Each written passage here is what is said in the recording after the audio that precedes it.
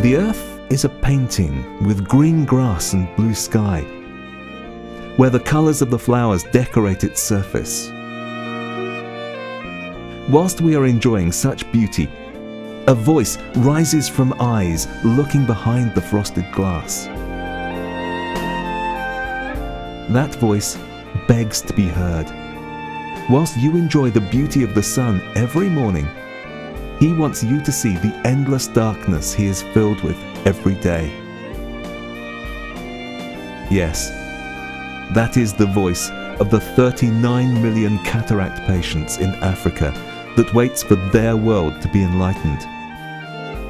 We are not insensitive to these thousands of voices Hence, we thrive to help these people who are kilometers away, even in the most remote villages of Africa.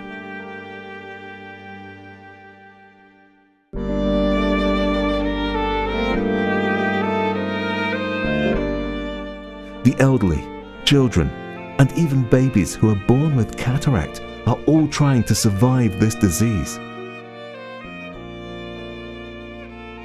It is highly likely that their eyes will be permanently blind if left untreated.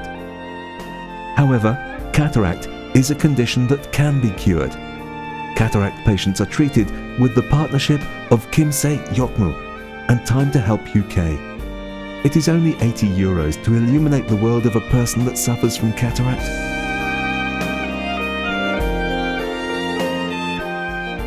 Although this figure is small for people like us, that are surrounded by endless blessings. It is enough to brighten the world of a mother that yearns to see their newborn.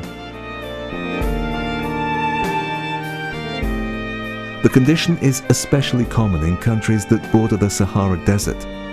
Therefore, join us in our quest to combat this disease.